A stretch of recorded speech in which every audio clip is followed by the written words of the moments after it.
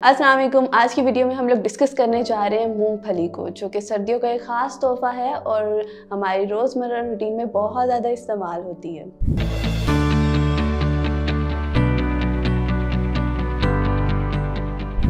मेरा नाम अमरीन कलीम है और मैं कंसल्टेंट डाइटिशियन एंड न्यूट्रिशनिस्ट हूँ। तो आज के वीडियो में बेसिकली मूंगफली के ऊपर बात करेंगे। मूंगफली सर्दियों में बहुत ज़्यादा एम्पल अमाउंट में खाई जाती है और ये बहुत ज़्यादा हेल्पफुल भी होती है।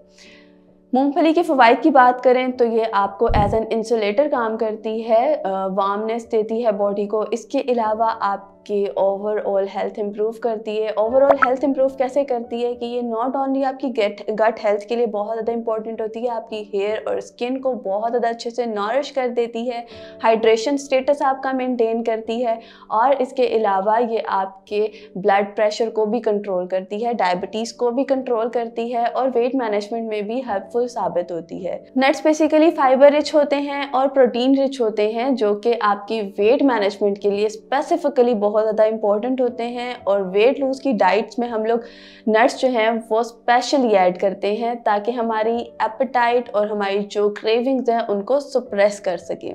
इसके अलावा अगर आपको गॉल स्टोन्स हैं या आपके लिवर के इश्यूज़ चल रहे हैं तो उसमें भी मूंगफली बहुत ज़्यादा हेल्पफुल रहती है गॉल स्टोन की हेल्थ मेंटेन करने में। इनफैक्ट आपकी ओवरऑल ब्लड सर्कुलेशन को इम्प्रूव करने में बहुत ज़्यादा इम्प्रूवमेंट लेकर आती है।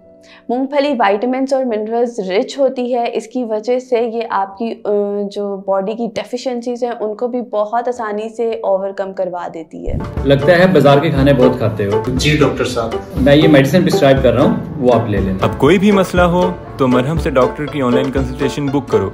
क्योंकि डॉक्टर से बात होगी अब घर पर। अब सवाल ये पैदा होता है कि मूंगफली कब और कितनी खानी चाहिए? क्योंकि नॉर्मली हमारे घरानों में रवायत रहती है कि मूंगफली आती है और हम लोग बहुत ज़्यादा अमाउंट में कंज्यूम कर लेते हैं, जिसके बाद अक्सर लोगों को शिकायत रहती है कि मूंगफली से हमारा ब्लड प्रेशर इंक्रीज़ हो जाता है।